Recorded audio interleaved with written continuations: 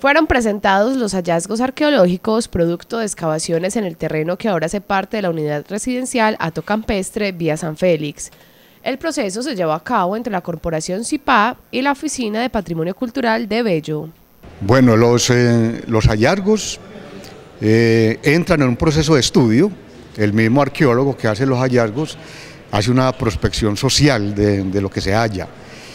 El caso de Pantés se encontraron eh, fragmentos prehispánicos, fragmentos republicanos y fragmentos de principio del siglo XX. Eh, lo, que se, lo que se va a exhibir hoy son fragmentos prehispánicos.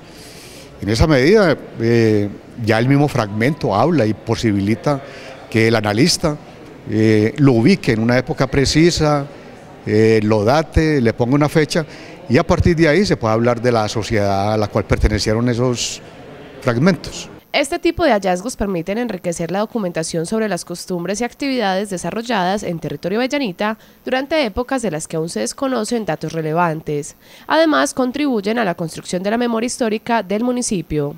Bueno, la ley, la ley obliga a que esos hallazgos arqueológicos se depositen en las alcaldías a la cual pertenece el territorio donde se hace el hallazgo. En este caso, este hallazgo se va a depositar acá en la alcaldía específicamente en el cuarto piso de la biblioteca, que lo tenemos destinado para sala arqueológica, sala de exhibición del patrimonio arqueológico.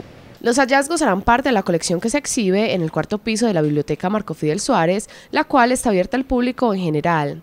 Se espera que este tipo de estudios se continúen realizando a lo largo del municipio en las diversas construcciones que se llevan a cabo por motivos del crecimiento de la población, lo que ha llevado al cambio del paisaje urbanístico de Bello.